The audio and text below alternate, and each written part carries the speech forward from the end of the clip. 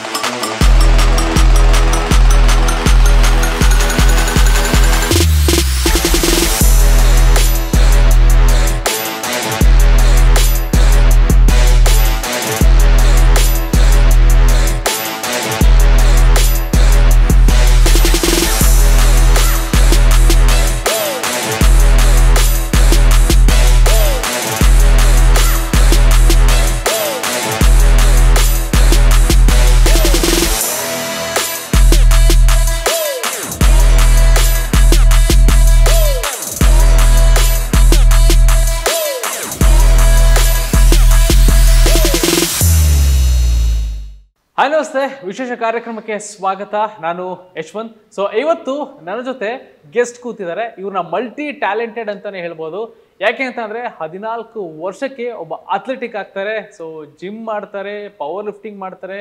ಒಂದಷ್ಟು ಮೆಡಲ್ಗಳನ್ನ ಕೂಡ ಗೆದ್ದಿದ್ದಾರೆ. ಹಾಗೆ ಇತ್ತೀಚಿನ ದಿನಗಳಲ್ಲಿ ಸಿನಿಮಾವನ್ನ ಕೂಡ ಮಾಡಿ ತಾನೊಬ್ಬ ಒಳ್ಳೆ ಆಕ್ಟರ್ ಅಂತ ಕೂಡ ಸಾಬೀತು ಮಾಡ್ತಾ ಇರುವಂತ ರಘು ಅವ್ರ ನನ್ನ ಜೊತೆ ಇದ್ದಾರೆ. ಮಾತಾಡ್ಸ್ತಾ ಹೋಗೋಣ. ಸರ್ ನಮಸ್ತೆ.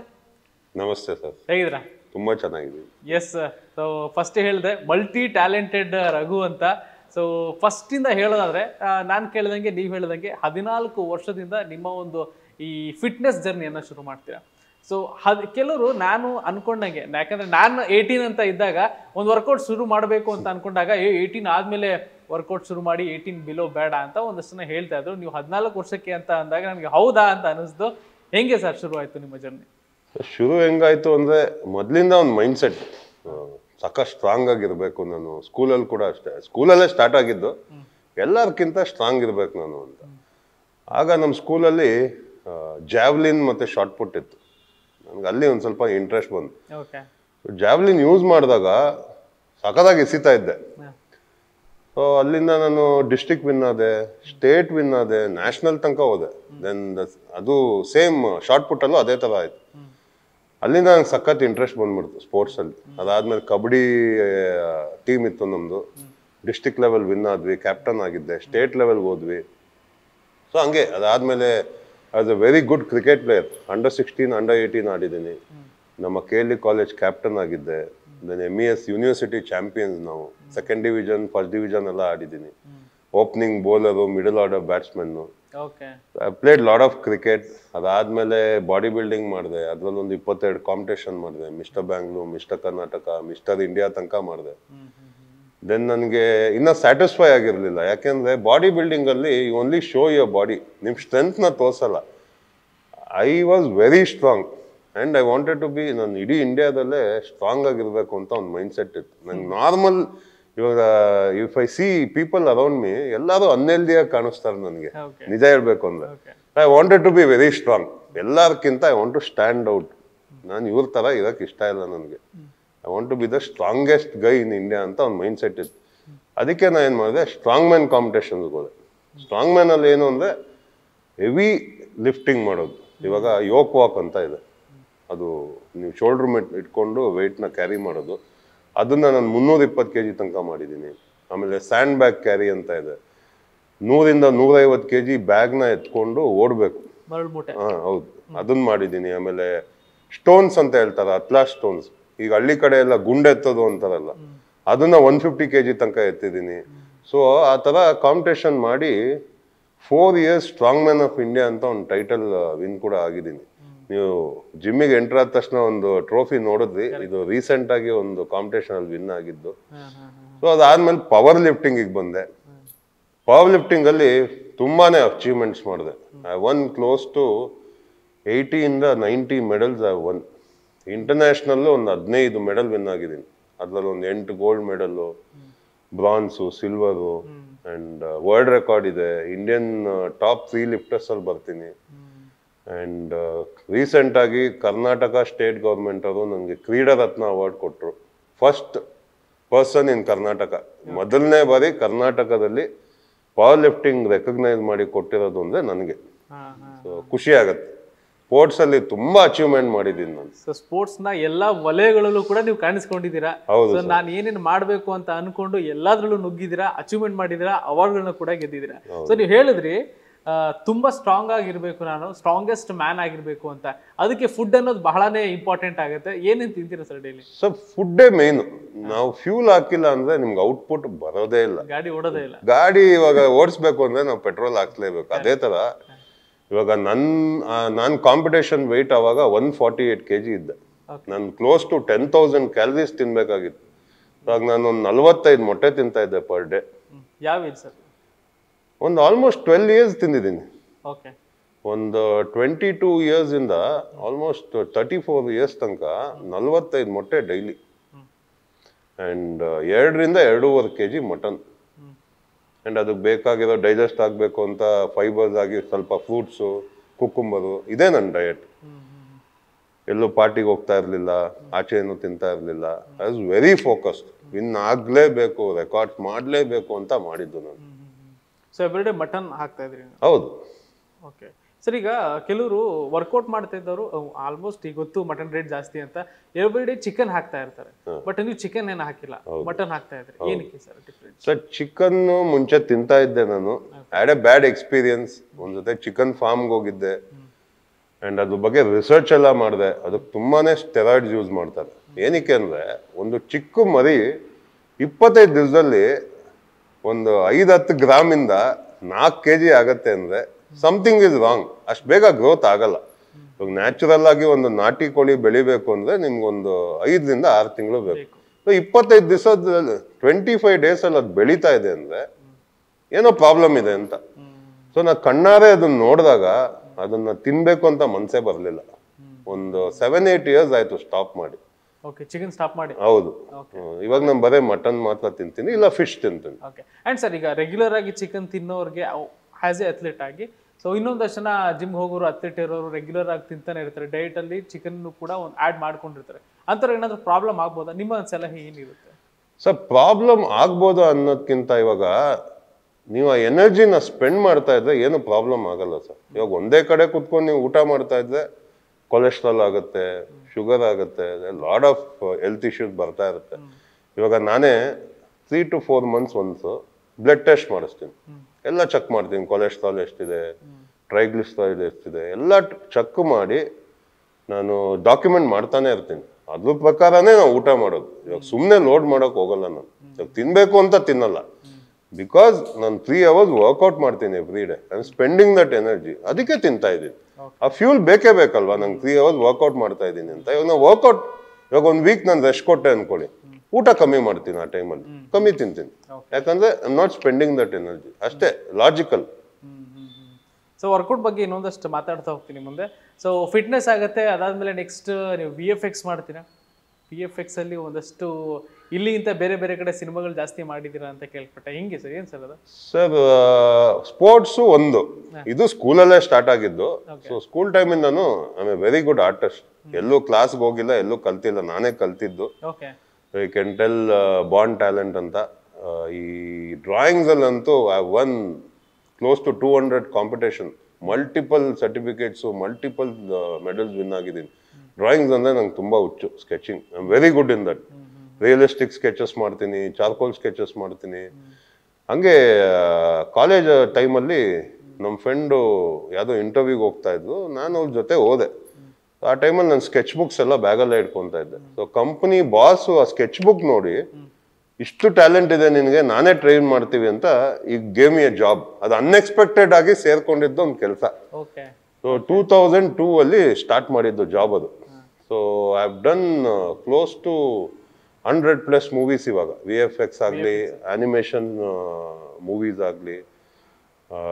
ಐ ಎಲ್ ಎಂ ಅಲ್ಲಿ ವರ್ಕ್ ಮಾಡಿದ್ದೀನಿ ಡ್ರೀಮ್ ವರ್ಕ್ಸಲ್ಲಿ ವರ್ಕ್ ಮಾಡಿದ್ದೀನಿ Paprikaas Technicolor Xentrix so I worked as texturing supervisor ಇವಾಗ sir DreamWorks how to train dragon ಅಂತ ಮೂವೀಸ್ ಬಂತಲ್ಲ ಆ ಮೂವಿಯಲ್ಲಿ I was a texturing supervisor and Nickelodeon ಅಲ್ಲೂ ಇವಾಗೂ ನಮ್ ಶೋಸ್ ಬರ್ತಾ ಇದೆ. ನಿಕಲೋಡಿಯನ್ ಅಲ್ಲೂ ನಾಲ್ಕು ವರ್ಷ ಕೆಲಸ ಮಾಡಿದ್ದೆ. ಓಕೆ ಸೊ ಹಿಂಗೆ ಅಲ್ಲಿಂದ ಸಾಗುತ್ತೆ ಹೌದು. ಆಮೇಲೆ ಟೂ ತೌಸಂಡ್ ತರ್ಟೀನ್ ಫೋರ್ಟೀನ್ ಅಲ್ಲಿ I don't know one day ಬೆಳಗ್ಗೆ ಕೆಲ್ಸಕ್ಕೆ ಹೋದೆ.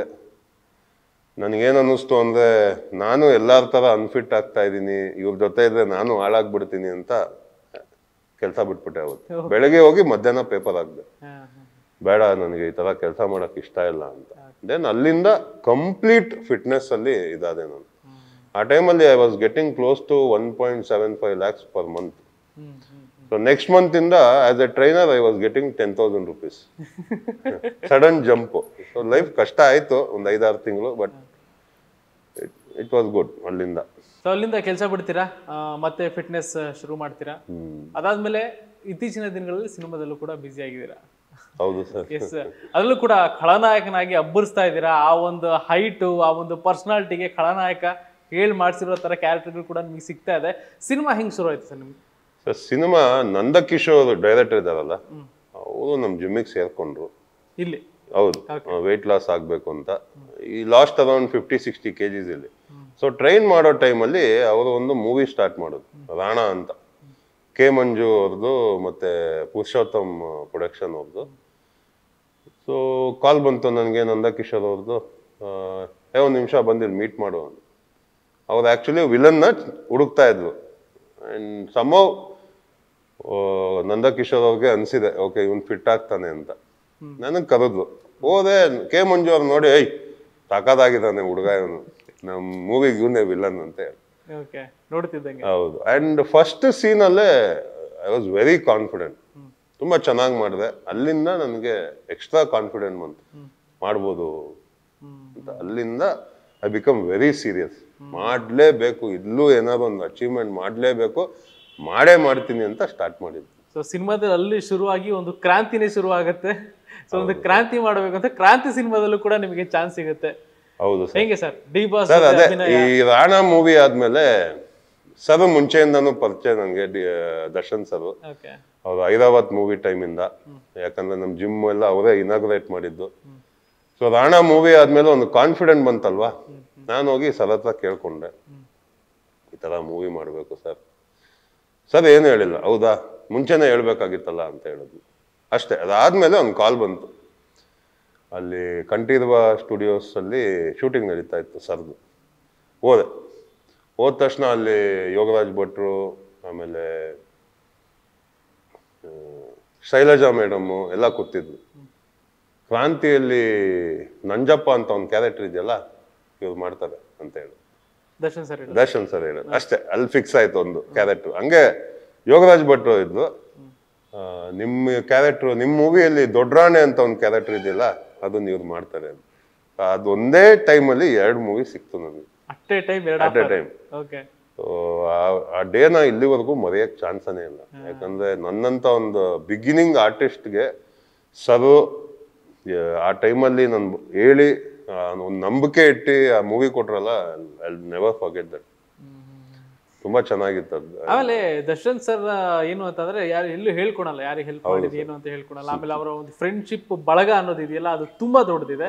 ಸೊ ಅವ್ರಿಗೆ ಅವ್ರ ಹತ್ರ ಇರೋರಿಗೆ ಅವ್ರು ಏನು ಅಂತ ಗೊತ್ತು. ಸೊ ನೀವು ಅವ್ರನ್ನ ಟ್ರೈನ್ ಅಪ್ ಮಾಡಿದ್ದೀರಾ ಅವ್ರ ಜೊತೆಯಲ್ಲಿದ್ದೀರಾ ಒಂದಷ್ಟು ಟೈಮ್ ಸ್ಪೆಂಡ್ ಮಾಡಿದ್ದೀರಾ ಅವ್ರ ಬಗ್ಗೆ ಹೇಳೋದ್ರೆ ಹೆಂಗೆ ಸರ್ ದರ್ಶನ್ ಸರ್ ಅಂದ್ರೆ ಹೆಂಗೆ ಏನು ದರ್ಶನ್ ಸರ್ ನಿಮ್ಮ ದರ್ಶನ್ ಸರ್ ಅಂದ್ರೆ ಒಂದು ಕ್ಲಾರಿಟಿ ಓಕೆ ಅವರು ಏನು ಮಾತಾಡ್ತಾರೋ ತುಂಬ ಸೆನ್ಸಲ್ಲಿ ಮಾತಾಡ್ತಾರೆ. ಆ್ಯಂಡ್ ಅವ್ರನ್ನ ಅರ್ಥ ಮಾಡ್ಕೊಂಬಿಟ್ರೆ ನಾವು ಲೈಫಲ್ಲಿ ತುಂಬ ದೂರ ಹೋಗ್ತೀವಿ. ಯಾಕಂದ್ರೆ ಅವ್ರು ಅಂದರೆ ತುಂಬ ಇಷ್ಟ. ಅವ್ರ ಬಾಡಿ ಲ್ಯಾಂಗ್ವೇಜ್ ಇರ್ಬೋದು ಅವ್ರು ಮಾತಾಡೋದಿರ್ಬೋದು.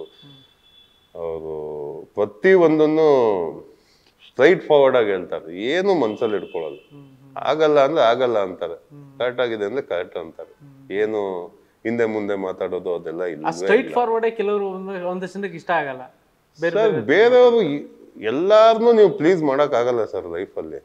ಯಾಕಂದ್ರೆ ಅವ್ರೊಂದು ಮಾ ಇವಾಗ ನಾವು ಅವ್ರೊಂದು ಮಾತು ಒಬ್ಬೊಬ್ರಿಗೆ ಇಷ್ಟ ಆಗದೆ ಇರ್ಬೋದು ಬಟ್ ಅವ್ರು ಹೆಂಗೆ ಅಂತ ಅವ್ರಿಗೆ ಗೊತ್ತಿರಲ್ವಲ್ಲ. ವಿ ಹ್ಯಾವ್ ಸೀನ್ ನಾವು ಜೊತೆ ಊಟ ಮಾಡಿದ್ವಿ ಅವ್ರ ಜೊತೆ ಮಾತಾಡಿದೀವಿ ಅವ್ರ ಜೊತೆ ಆಕ್ಟ್ ಮಾಡಿದೀವಿ ನಮಗ್ ಗೊತ್ತು. ಅವ್ರ ತರ ಇನ್ನೊಬ್ರು ಬರಕ್ ಚಾನ್ಸೇ ಇಲ್ಲ. ಇಸ್. ಈಸ್ ವೆರಿ ಗುಡ್ ರೀಪ್ಲೇಸೇ ಮಾಡಕ್ಕಾಗಲ್ಲ ದರ್ಶನ್ ಸರ್. ನೀವ್ ಹೇಳಿದ್ರೆ ಐರಾವತ ಟೈಮಲ್ಲಿ ಅದ ನಾವು ಟ್ರೈನ್ ಅಪ್ ಮಾಡ್ತಾ ಇದ್ವಿ ದರ್ಶನ್ ಸರ್ ಅಂತ. ಸೊ ಐರಾವತದಲ್ಲಿ ಐರಾವತ ತರನೇ ಅವ್ರು ಕಾಣಿಸ್ಕೊಂಡಿರೋದು ಆ ಸಿನಿಮಾದಲ್ಲಿ. ಸೊ ಅಲ್ಲಿಂದ ನೋಡಿದ್ರೆ ಆ ಗ್ರಾಫ್ ತುಂಬಾ ಚೆನ್ನಾಗಿದೆ. ಅವರ ಬಾಡಿ ಫಿಸಿಕ್ ನೋಡ್ತಾ ಇದ್ರೆ ನಾವು ಹೆಂಗೆ ಸರ್ ಆ ಟ್ರೈನ್ ಅಪ್ ಮಾಡೋ ಟೈಮಲ್ಲಿ ಫಸ್ಟ್ ಎಷ್ಟು ವೇಟ್ ಇದ್ರು ಆಮೇಲೆ ಟ್ರೈನ್ ಅಪ್ ಮಾಡೋ ಟೈಮಲ್ಲಿ ಅವ್ರು ಹೆಂಗ್ ವರ್ಕೌಟ್ ಮಾಡ್ತಾರೆ ಅವರ ಒಂದು ಪ್ರೋಸೆಸ್ ಯಾವ ರೀತಿ ಹೇಮಂತ್ ಅಂತ ಅವ್ರ ಟ್ರೈನರ್ ಅವನ್ನ ನಾನ್ ಟ್ರೈನ್ ಮಾಡ್ತಾ ಇದ್ದೆ. ಅವ್ನು ನ್ಯಾಷನಲ್ ಇಂಟರ್ನ್ಯಾಷನಲ್ ಎಲ್ಲ ಮಾಡಿದ್ದಾರೆ. ಒಂದ್ ದಿವಸ ಹೇಮಂತ್ ಬಂದು ನಂಗೆ ಕೇಳ್ದ ಈ ತರ ಸರ್ವು ಫುಲ್ಲು ಝೀರೋ ಸಿಕ್ಸ್ ಪ್ಯಾಕ್ ಮಾಡ್ಬೇಕು ಅಂತ ಇದ್ದಾರೆ ಫುಲ್ ರಿಪ್ ಮಾಡ್ಬೇಕಂತೆ. ನಿಮ್ ಸ್ವಲ್ಪ ಸಜೆಷನ್ ಬೇಕು ಡಯಟ್ ಎಲ್ಲ ಸ್ವಲ್ಪ ಮೀಟ್ ಮಾಡಬೇಕಂತ. ಹಂಗೆ ಅವಾಗ ಅವ್ರ ಮನೆಗೆ ಹೋಗಿದ್ ನಾನು. ಮನೆಗೆ ಹೋಗಿ ಸರ್ ಹತ್ರ ಮಾತಾಡಿ ಅವ್ರ ಡಯಟ್ ಎಲ್ಲ ಚೆಕ್ ಮಾಡಿ ಸ್ವಲ್ಪ ಎಲ್ಲ ವರ್ಕೌಟ್ಸ್ ಎಲ್ಲ ಇದು ಮಾಡಿ ಆ ಥರ ಅವ್ರಿಗೆ ಕನ್ಸಲ್ಟೇಷನ್ ಥರ ಹೆಲ್ಪ್ ಮಾಡ್ತಾ ಇದ್ದೆ. ಆ್ಯಂಡ್ ನನ್ಗೆ ಏನೇ ಮಾಡಿಸ್ಬೇಕು ಅಂದ್ರೆ ನಾನು ಹೇಮಂತ್ ಥ್ರೂ ಮಾಡಿಸ್ತಾ ಇದ್ದೆ. ಹೇಮಂತಿಗೆ ಹೇಳ್ತಾ ಇದ್ದೆ ಈ ಥರ ಮಾಡಿಸು ಈ ಥರ ಡಯಟ್ ಮಾಡು ಅಂತ. ಸೊ ಆ ಥರ ಒಂದು ಕನೆಕ್ಷನ್ ಸರ್ಗೂ ನನಗೂ. ಅದಾದಮೇಲೆ ಸರ್ಗೆ ಸರ್, ನಾನು ಹಿಂಗೆ ಜಿಮ್ ಓಪನ್ ಮಾಡ್ತಾ ಇದ್ದೀನಿ ಅಂತ ಹೇಳಿದಾಗ ವಿತೌಟ್ ಇವನ್ ಥಿಂಕಿಂಗ್ ಆವಾಗ ನಾನು ಏನೂ ಇಲ್ಲ. I was nobody gym inaugurate ಮಾಡಬೇಕಲ್ಲ ಅಂದ್ರು ವಿತ್ ಅದೇ ಯೋಚನೆ ಮಾಡಿದೆ, ಆಯಿತು ಅಂತೇಳಿ ಬಂದು ಇನಾಗ್ರೇಟ್ ಮಾಡಿದ್ಲು. ಕೋವಿಡಲ್ಲಿ ತುಂಬ ಕಷ್ಟ ಆಯಿತು. ಜಿಮ್ ಕ್ಲೋಸ್ ಮಾಡಬೇಕು ಅಂತ ಇದ್ದೆ. ಬಟ್ ಸರ್ ಇನಾಗ್ರೇಟ್ ಮಾಡಿದ್ದಾರೆ ಅಂತ ಒಂದೇ ಕಾರಣದಿಂದ ಇದನ್ನ ಎಷ್ಟೇ ಕಷ್ಟ ಆದ್ರೂ ಉಳಿಸ್ಕೊಂಡಿದ್ದೀನಿ. ಓಕೆ ಓಕೆ ಅಂಡ್ ಆ ಟೈಮಲ್ಲಿ ಪ್ರಾಪರ್ ಏನು ಏನು ಫುಡ್ ಏನು ಡೇಟ್ ಕೊಡ್ತಾ ಇದ್ರಿ ಸರ್ ಸರ್ ಅವರು ಸಖತ್ತು ಪ್ರಿಸೈಸ್ ಆಗಿ ಮಾಡ್ತಾರೆ. ಅವ್ರು ಹೆಂಗೆ ಅಂದ್ರೆ ಮಾಡಿದ್ರೆ ಮಾತ್ರ ಏ ಅಷ್ಟು ಡೆಡಿಕೇಶನ್ ಅಷ್ಟು ಡಿಸಿಪ್ಲಿನ್ ಆಗಿ ಮಾಡ್ತಾರೆ. ಅವ್ರು ಒಂದು ಸಿಕ್ಸ್ ಪ್ಯಾಕ್ ಮಾಡ್ಬೇಕಾ? ಬಿಡೋದೇ ಇಲ್ಲ ಆಗೋ ತನಕ. ಹೆಂಗೆ ಅಂದ್ರೆ ನಮ್ ತರ ಎಲ್ಲ ಡಯಟ್ ಇರಲಿಲ್ಲ ಸರ್. ಯಾಕಂದ್ರೆ ನಮ್ದು ಸ್ಟ್ರಾಂಗ್ ಮ್ಯಾನು ಆ ಥರ ಎಲ್ಲ ಇತ್ತು. ನಾವು ತುಂಬಾ ಹೆವಿ ಕ್ಯಾಲರೀಸ್ ತೊಗೊತಾ ಇದ್ವಿ. ಸರ್ದಂಗೆ ಇರಲಿಲ್ಲ.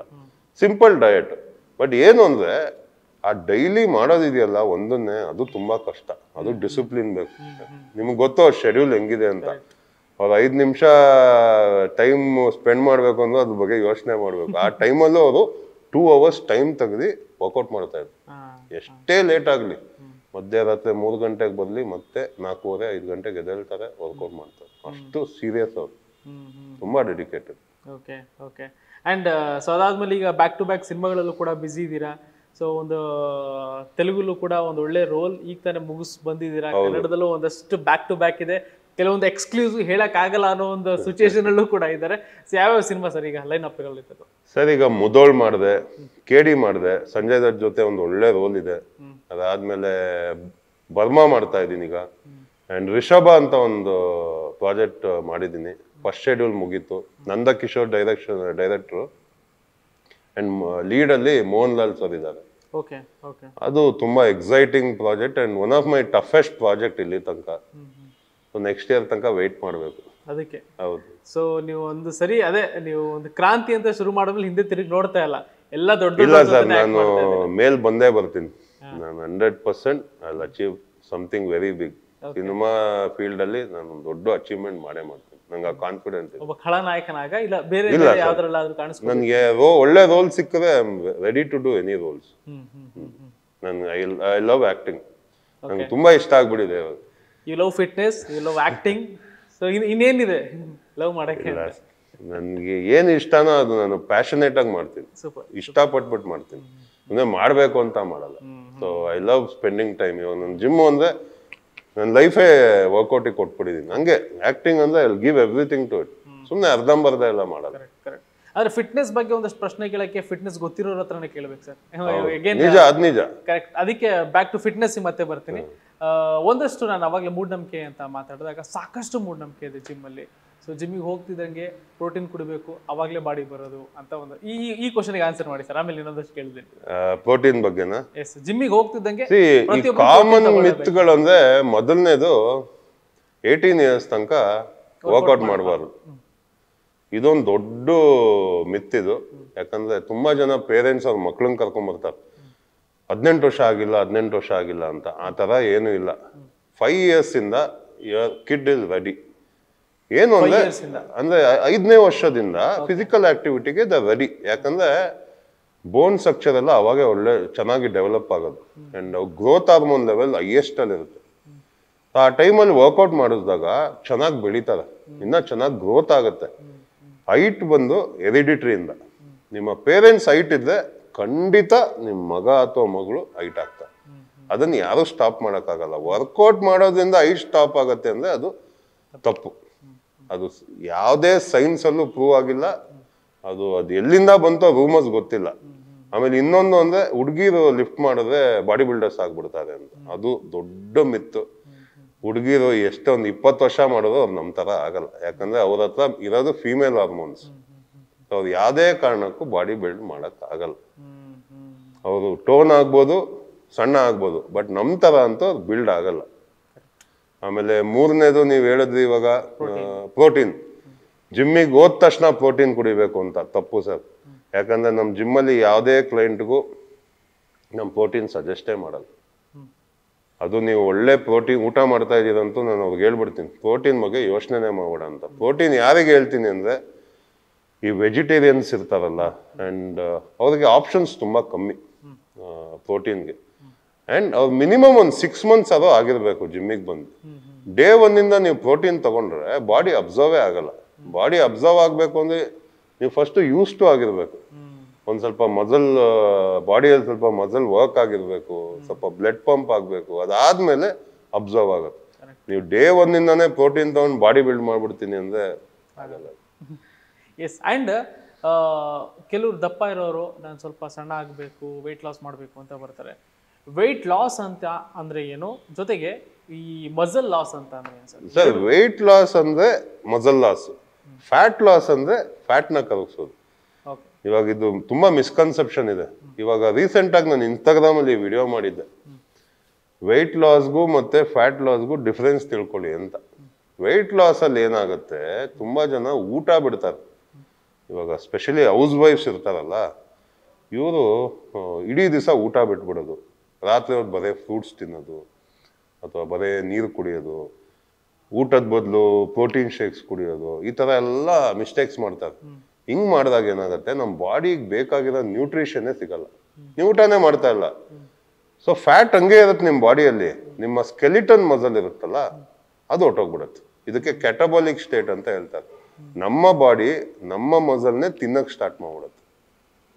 ಯಾಕಂದ್ರೆ ಫ್ಯಾಟ್ನ ಬರ್ನ್ ಮಾಡೋಕ್ಕೆ ಐದು ಅವರ್ ಬೇಕು. ಮಿನಿಮಮ್ ಅದೇ ನಿಮ್ಮ ಮಸಲ್ನ ಬರ್ನ್ ಮಾಡೋಕ್ಕೆ ಮಸಲಿಂದ ಎನರ್ಜಿ ತೆಗಿಯೋಕ್ಕೆ ಐದು ನಿಮಿಷ ಸಾಕು. Okay muscle is filled with water and filled with glycogen ಈಸಿಯಾಗಿ ಮಸಲಿಂದ ಎಲ್ಲ ಎನರ್ಜಿ ಎಳ್ಕೊಂಬಿಡುತ್ತೆ ಸೊ ನಾವು ಊಟ ಮಾತ್ರ ಬಿಟ್ಟು ವೆಯ್ಟ್ ಲಾಸ್ ಮಾಡೋಕೆ ಹೋಗೋದು ಫ್ಯಾಟ್ ಲಾಸಲ್ಲಿ ಏನು ಅರ್ಥ ಅಂದರೆ ಅದರಲ್ಲಿ ನಾವು ಸ್ವಲ್ಪ ಒಳ್ಳೆ ಪ್ರೋಟೀನು ಕಾರ್ಬೋಹೈಡ್ರೇಟ್ಸು ಫೈಬರ್ ಎಲ್ಲ ತಿನ್ಕೊಂಡು ಎಕ್ಸಸೈಸ್ ಮಾಡ್ಕೊಂಡು ಹೋದಾಗ ಫ್ಯಾಟ್ ಮಾತ್ರ ಲೂಸ್ ಆಗುತ್ತೆ. ಅದರಲ್ಲಿ ಸ್ವಲ್ಪ ಟೈಮ್ ಬೇಕು. ಇನ್ಸ್ಟೆಂಟಾಗಿ ಲೂಸ್ ಆಗಲ್ಲ. ಇವಾಗ ನೀವು ಒಂದು ವಾರ ಊಟ ಬಿಟ್ರೆ ನೀವು ಸಣ್ಣ ಆಗ್ತೀರಾ ನಾನು ಸಣ್ಣ ಆಗ್ತೀನಿ. ಅಂದ್ರೆ ಅದು ಫ್ಯಾಟ್ ಲಾಸ್ ಫ್ಯಾಟ್ ಅಲ್ಲ ವೆಯ್ಟ್ ಲಾಸ್ ವೆಯ್ಟ್ ಲಾಸ್ ಎಲ್ಲ ಸಣ್ಣ ಆಗ್ಬಿಡುತ್ತೆ. ಅಂದ್ರೆ ಮಸಲು ಕಡಿಮೆ ಎಲ್ಲ ಹೊಟ್ಟೋಗುತ್ತೆ ವೀಕ್ ಆಗ್ಬಿಡ್ತೀರಾ ಶಕ್ತಿನೇ ಇರಲ್ಲ ಬಾಡಿಯಲ್ಲಿ. ಅದೇ ನೀವು ಫ್ಯಾಟ್ ಲಾಸ್ ಅಂತ ಪ್ರೋಗ್ರಾಮ್ ಮಾಡಿದಾಗ ಮಿನಿಮಮ್ ಒಂದು ತ್ರೀ ಟು ಫೋರ್ ಮಂತ್ ಬೇಕೇ ಬೇಕು. ಸ್ಲೋ ಆಗಿ ಕರಗತ್ತೆ ಬಾಡಿ ಅವಾಗ ನಿಮ್ end of the day strong ಆಗು ಇರ್ತೀರಾ ಹೆಲ್ದಿ ಕಾಣಿಸ್ತೀರ. ಹ್ಮ್ ಹ್ಮ್ ಇದನ್ನ ಅರ್ಥ ಮಾಡ್ಕೋಬೇಕು ಜನ. ತುಂಬಾ ಮಿಸ್ಗೈಡ್ ಆಗ್ತಾರೆ ಸೋಷಿಯಲ್ ಮೀಡಿಯಾ ತುಂಬಾ ಮೋಸ ಮಾಡ್ತಾರೆ. ತುಂಬಾ ಮಿಸ್ಗೈಡ್ ಕೆಲವರು ಸೋಷಿಯಲ್ ಮೀಡಿಯಾ ಇನ್ಸ್ಟಾಗ್ರಾಮ್ ಅಲ್ಲಿ ವರ್ಕೌಟ್ ನೋಡ್ಕೊಂಡ್ಬಿಟ್ಟು ಇವರು ಅದೇ ತರ ಮಾಡ್ತಾರೆ. ಯಾಕಂದ್ರೆ ಅವ್ರ ಬಾಡಿನೇ ಬೇರೆ ತರ ಇರುತ್ತೆ ಇವ್ರ ಬಾಡಿನೇ ಥರ ಇರುತ್ತೆ ಆ ಸ್ಟ್ರೆಂತ್ ಬೇರೆ ಇರುತ್ತೆ ಈ ಸ್ಟ್ರೆಂತ್ ಬೇರೆ ಇರುತ್ತೆ. ಬಟ್ ಆ ಥರ ನೋಡಿಕೊಂಡು ಇನ್ಫ್ಲೂಯೆನ್ಸ್ ತೊಗೊಂಡು ಇಲ್ಲ ಇವ್ರು ಈ ಥರ ವರ್ಕೌಟ್ ಮಾಡ್ತಿದ್ದಾರೆ ಸಕ್ಕದಾಗಿ ಶೋಲ್ಡ್ರ್ ಕುತ್ಕೊಂಡ್ಬಿಡುತ್ತೆ ಇಲ್ಲ ಸಕ್ಕದಾಗಿ ಒಂದು ಆರ್ಮ್ಸ್ ಕುತ್ಕೊಂಡ್ಬಿಡುತ್ತೆ ಅಂತ ಮಾಡೋ ಅಂಥ ಅವರಿಗೆ ನೀವು ಹೇಳುವಂಥದ್ದು ಸರ್ ನಾನು ಎಲ್ಲರಿಗೂ ಫಸ್ಟ್ ಏನು ಹೇಳ್ತೀನಿ ಅಂದರೆ ಜಿಮ್ಮಿಗೆ ಬಂದ್ಬಿಟ್ಟು ನಮ್ಮ ಬಾಡಿ ಬಿಲ್ಡ್ ಮಾಡ್ತೀನಿ ಅನ್ನೋದು ತಪ್ಪು. ಫಸ್ಟ್ ಏನಾಗಬೇಕು ನಮ್ಮ ಲೈಫ್ ಸ್ಟೈಲ್ ಕರೆಕ್ಟ್ ಮಾಡ್ಕೋಬೇಕು ಕರೆಕ್ಟಾಗಿ ಮಲಗೋದು. ಕರೆಕ್ಟಾಗಿ ಟೈಮ್ ಸರಿಯಾಗಿ ಊಟ ಮಾಡೋದು. ಜಂಕ್ ಫುಡ್ಡು ಅದೆಲ್ಲ ತಿನ್ನೋದು ಬಿಡೋದು. ಇದನ್ನ ಕರೆಕ್ಟ್ ಮಾಡಿಕೊಂಡು ಆಮೇಲೆ ಜಿಮ್ಮಿಗೆ ಬರಬೇಕು ನೀವು ಜಿಮ್ಮಿಗೆ ಬಂದ ತಕ್ಷಣ ವೆಯ್ಟ್ಸ್ ಎತ್ತಿ ನಾನು ಬಿಲ್ಡ್ ಮಾಡ್ಬಿಡ್ತೀನಿ ಅನ್ನೋದು ತಪ್ಪು. ಆಗಲ್ಲ.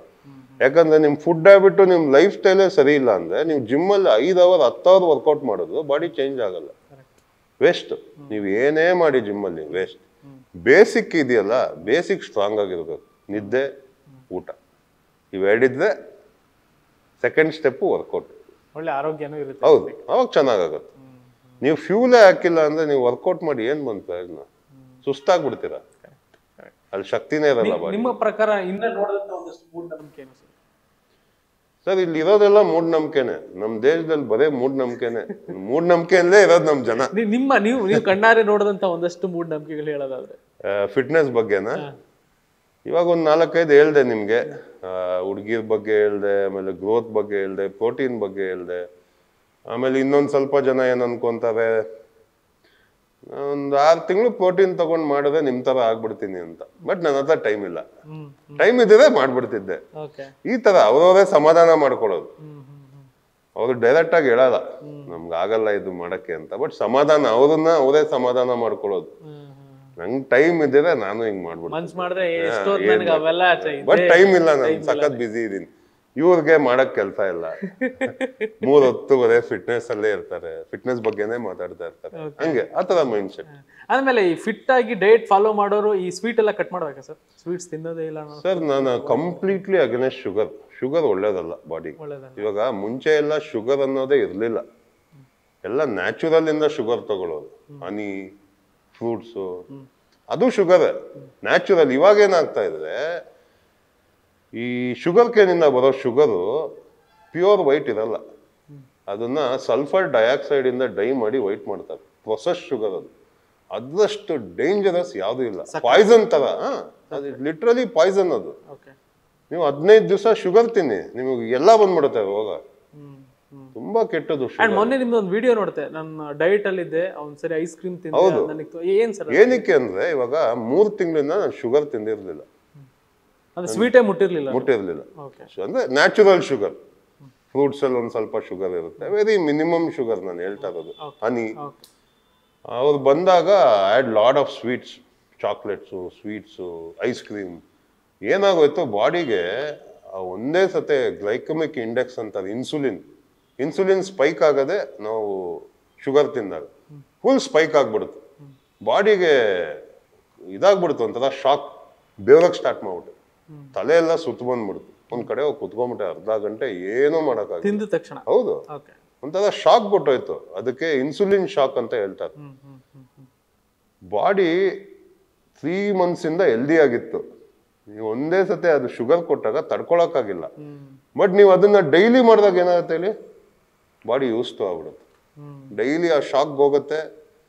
ಹೋಗ್ತಾ ಹೋಗ್ತಾ ಹೋಗ್ತಾ ನಿಮ್ಗೇನು ಅನ್ಸೋದೇ ಇಲ್ಲ. ನೀವು ಅನ್ಹೆಲ್ದಿ ಆಗ್ಬಿಟ್ಟಿರ್ತೀರ.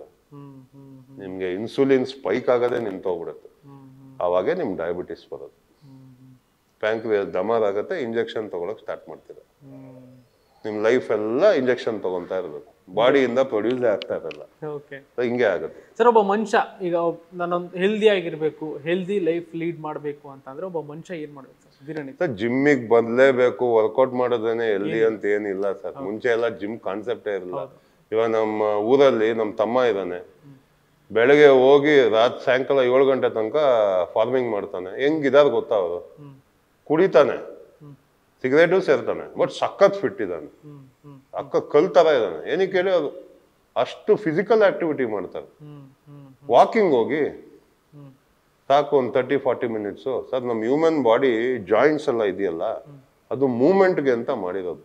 ಒಂದೇ ಕಡೆ ಕುತ್ಕೊಳ್ಳೋಕೆಲ್ಲ ಮಾಡಿರೋದು. ಈಗ ನಮ್ಮ ಎವಲ್ಯೂಷನ್ ನೋಡಿದ್ರೆ ನಮ್ಮ ಹ್ಯೂಮೆನ್ಸ್ ಏನು ಸರ್ವೈವ್ ಆಗಬೇಕು ಊಟನ ತಿನ್ಬೇಕು ಇಷ್ಟೇ ಇದ್ದಿದ್ ನಮ್ ಕೆಲಸ. ಮುಂದೆ ಬರ್ತಾ ಬರ್ತಾ ನಾವೇ ಎಲ್ಲ ರೂಲ್ಸ್ ಮಾಡ್ಕೊಂಡು ಈ ತರ ಕಾಂಪ್ಲಿಕೇಟೆಡ್ ಮಾಡ್ಕೊಂಡಿದೀವಿ ಒಂಥರ ಸ್ಲೇವ್ಸ್ ಆಗ್ಬಿಟ್ಟಿದೀವಿ ಬರೇ ಬೇರೆಯವ್ರು ಹೇಳೋದ್ನ ಬೇರೆಯವ್ರು ಮಾಡೋದ್ನೇ ಕೇಳ್ಕೊಂಡಿದೀವಿ ಸಿಂಪಲ್ ಆಗಿ ಹೆಲ್ದಿ ಊಟ ಮಾಡ್ಕೊಂಡು ಒಂದ್ ಮೂವತ್ ನಿಮಿಷ ವಾಕ್ ಮಾಡೋದು ಸಾಕು. ಸಾಕು. ಬೇಜಾನಾಗೋದು ನಿಮ್ಮ ವರ್ಕೌಟ್ ಯಾವ ರೀತಿ ಸರ್? ಸರ್ ನಾನು ಸಖತ್ ಎಕ್ಸ್ಟ್ರೀಮ್ ಹೆವಿ ವರ್ಕೌಟ್ ಮಾಡ್ತೀನಿ ಸರ್. Monday ಆಡ್ ಮೂಮೆಂಟ್ಸ್ ಮಂಡೆಯಿಂದ ಸಾಟರ್ಡೆ ಹೇಳೋದಲ್ಲ ಸರ್ ನಾನು ಡೈಲಿ ಮಾಡ್ತೀನಿ. ಒಂದ್ ದಿವಸನೂ ಬಿಡಲ್ಲ. ಓಕೆ ಡೈಲಿ ಒಂದೊಂದು ದಿನ ಒಂದೊಂದು ಪಾರ್ಟಿ ಹೌದು. ಪಾರ್ಟ್ ಅಂತಲ್ಲ ಸರ್ ನಾನು ಎಲ್ಲಾ ವರ್ಕೌಟ್ ಮಿಕ್ಸ್ ಮಾಡ್ತೀನಿ. ವರ್ಕೌಟ್ ನಾನು ಎಲ್ಲಾ ವರ್ಕೌಟ್ ಮಿಕ್ಸ್ ಅಪ್ ಮಾಡಿ ಹೆಂಗಿರುತ್ತೆ ಸರ್ ಅದೇ ಹೇಳಿದ್ನಲ್ಲ ನೂರೈವತ್ತು ಕೆಜಿ ಮೂಟೆ ಎತ್ತದು ಇನ್ನೂರು ಕೆಜಿ ಭಾರ ಎತ್ತದು ಡೆಡ್ ಲಿಫ್ಟ್ ಮಾಡೋದು ಚೈನ್ ಇದೆ ಇಲ್ಲಿ ಮೂವತ್ ಮೂವತ್ ಕೆಜಿ ಚೈನ್ ಅದು ಹಾಕೊಂಡು ಸುಮ್ಮನೆ ನಡೀತಾ ಇರೋದು. ಟೈರ್ ಎಳಿಯೋದು ಎಲ್ಲ ಆಡ್ ಮೂಮೆಂಟ್ಸ್ ಇವಾಗ ನಾವು ನಾರ್ಮಲ್ ಆಗಿ ನಮ್ಮ ಲೈಫಲ್ಲಿ ಯಾರು ಮೆಷಿನ್ ಮೇಲೆ ಕುತ್ಕೊಂಡು ಕೆಲಸ ಮಾಡಲ್ಲ. ಕರೆಕ್ಟಾ? ನಾವು ಬಗ್ಗೋದು ಬೆಂಡ್ ಮಾಡೋದು ಪುಷ್ ಪುಲ್ ಇದನ್ನ ಮಾಡ್ತೀವಿ. ಅಂತ ವರ್ಕೌಟ್ಸ್ ಮಾಡ್ತೀನಿ ನಾನು. ಓಕೆ ಸೊ ಆಡ್ ಮೂಮೆಂಟ್ಸ್ ಅಲ್ಲಿ ನನಗೇನು ಇಂಜುರೀಸ್ ಆಗಬಾರ್ದು ಅಂತ. Yes yes yes so fitness ಬಗ್ಗೆ ಸಾಕಷ್ಟು ಹೇಳಿದ್ರಿ ಒಂದಷ್ಟು ಇದ್ದಂಥ ಮೂಢನಂಬಿಕೆನ ಹೋಗ್ಲಾಡ್ಸಿದ್ದೀರಾ? ಈ ಮೂಲಕ ನೋಡಿ ಆದ್ರೂ ಹೋಗ್ಲಾಡಿಸ್ಕೊಳ್ಳಿ. ಎಸ್ ಅಂಡ್ ನೆಕ್ಸ್ಟ್ ಏನ್ ಮಾಡಬೇಕು ಅಂತ ಅನ್ಕೊಂಡಿದ್ರೆ ಸರ್ ಯಾಕಂದ್ರೆ ನೋಡಿದೆ ಒಂದಷ್ಟು ಮೆಡಲ್ಗಳೆಲ್ಲ ಇದೆ. ಸೊ ನಿಮ್ಮ ಒಂದು ಪರಿಶ್ರಮಕ್ಕೆ ತಕ್ಕ ಒಂದಷ್ಟು ಪ್ರತಿಫಲ ಇದೆ. ನೆಕ್ಸ್ಟ್ ಏನಿದೆ? ನಿಮ್ಮ ಡ್ರೀಮ್ ಏನಿದೆ? ಐಡಿಯಾಗಳೇನಿದೆ ಏನ್ ಮಾಡಬೇಕು? ಸರ್ ಡ್ರೀಮ್ ಅದೇ ಹೇಳ್ದೆ. I want to make a good ಒಂದು ಒಳ್ಳೆ ಹೆಸರು ಮಾಡಬೇಕು ಮೂವಿಯಲ್ಲಿ ಪೀಪಲ್ ಶುಡ್ ರೆಕಗ್ನೈಸ್ ಮೀ ನೋಡಪ್ಪ ಇವನು ಒಳ್ಳೆ ಬಾಡಿ ಇದೆ ಒಳ್ಳೆ ಹೈಟ್ ಇದೆ ಒಳ್ಳೆ ಆಕ್ಟಿಂಗ್ ಮಾಡ್ತಾನೆ ಅಂತ ಜನ ಹೇಳ್ಬೇಕು ನನಗೆ. ನನ್ನ ಪರ್ಸ್ನಾಲಿಟಿ ನೋಡಿ ಒಂದು ರೆಸ್ಪೆಕ್ಟ್ ಮಾಡಬೇಕು ಅಂತ ಆಸೆ. ಲೈಕ್ ಇವಾಗ ಅಬ್ರಾಡಲ್ಲೆಲ್ಲ ಇವಾಗ ಎಕ್ಸಾಂಪಲ್ ರಾಕೆ ತಗೊಳ್ಳಿ. ಅವ್ನ ಫಿಸಿಕ್ ಹೆಂಗಿದೆ? ಅದೇ ಅವ್ನು ಇಂಡಿಯಾದಲ್ಲಿ ಇದ್ದಿದ್ರೆ ಅವ್ನ ಸೈಡಲ್ಲಿ ಒಂದು ಬ್ಲೇಜರ್ ಹಾಕಿ ನಿಲ್ಸ್ಬಿಟ್ಟಿರೋದು ಮೂವಿಯಲ್ಲಿ ಕರೆಕ್ಟಾ ಬಟ್ ಅವ್ನ ಕ್ಯಾರೆಕ್ಟರ್ಸ್ ಹೆಂಗಿದೆ? ಹೆಂಗ್ ತೋರಿಸ್ತಾರೆ? ಆ ಥರ ಒಂದು ಕ್ಯಾರೆಕ್ಟರ್ ಮಾಡಬೇಕು ಅಂತ ಆಸೆ sir. I want to change people's mind and ನಿಮ್ಮ ಸಿನಿಮಾದ ಯಾವ್ದಾರ ಒಂದು ಫೇವ್ರೆಟ್ ಡೈಲಾಗ್ ಹೇಳಿ sir?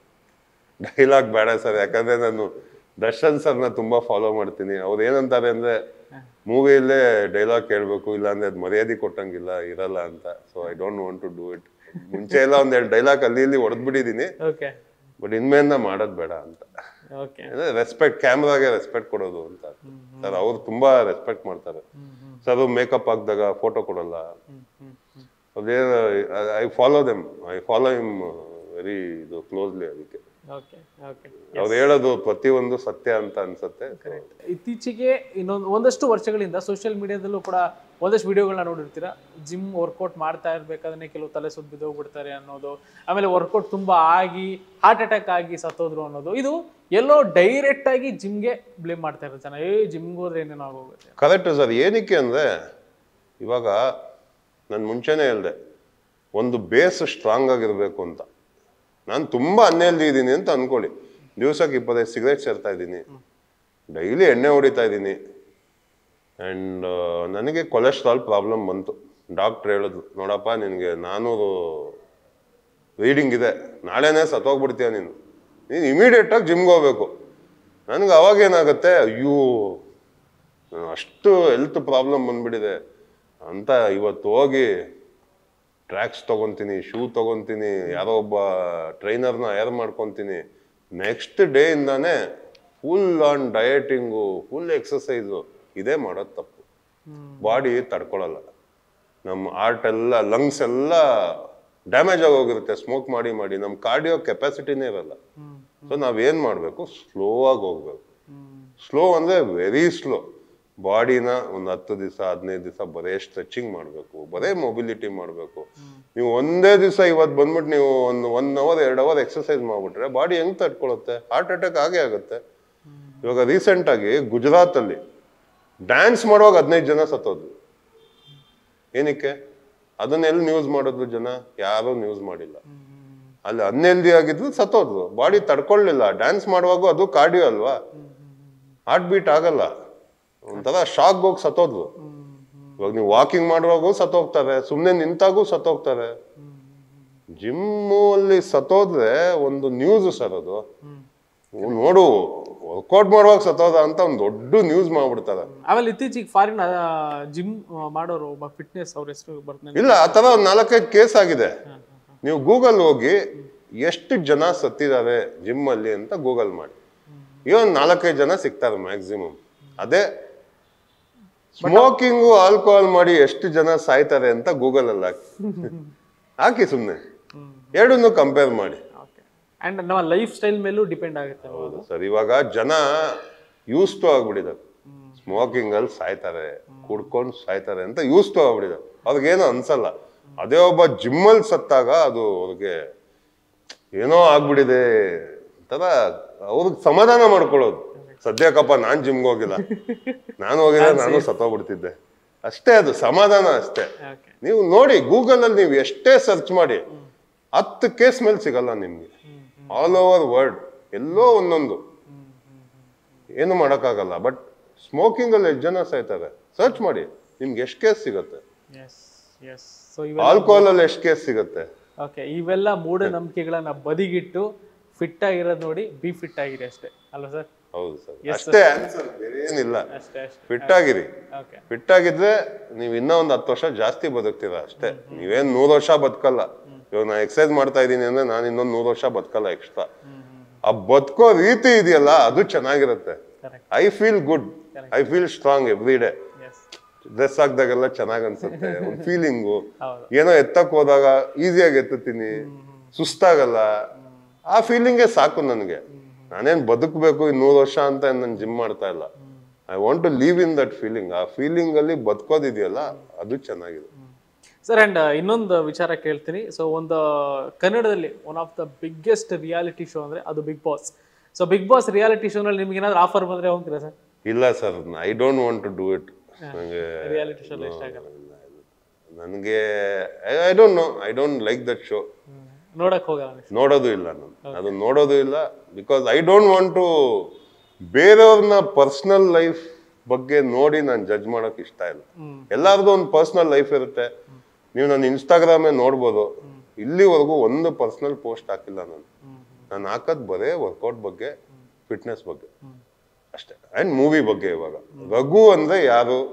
Raghu is a fitness guy Raghu is a actor ಅಷ್ಟೇ ಇರಬೇಕು.